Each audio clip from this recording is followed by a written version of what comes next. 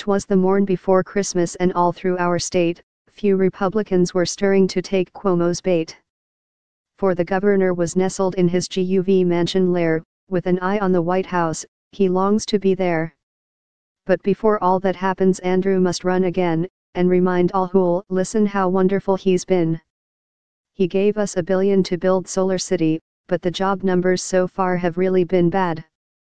Brian Kolb wants a chance as political giant killer, but no upstater has won since Nathan L. Miller. On Kolb. On Giambra. On Sen. D. Fran. But where's Harry Wilson? He's really their man.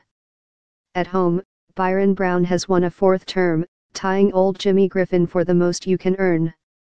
He promises the world as Buffalo's mayor, but his big job in 18 is Cuomo's state chair. Down in the Capitol they thought they'd be rich, through Congressman Collins and his Aussie stock pitch. Now Congress is probing and the Dems want a shot to challenge him next year, believe it or not. Now Nate. Now Stankevich and also Sean Bunny. They think they can beat him without any money. In DC there reigns a right jolly old elf, who writes midnight tweets extolling himself. He's shaking things up, the town is not duller. But don't get complacent, there's still Robert Mueller.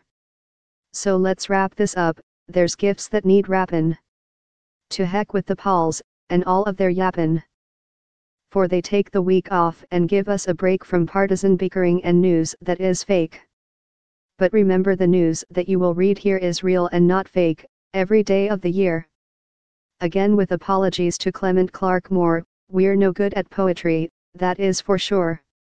And so we'll resume when the calendar moves, wishing happy Christmas to all, from the Buffalo News.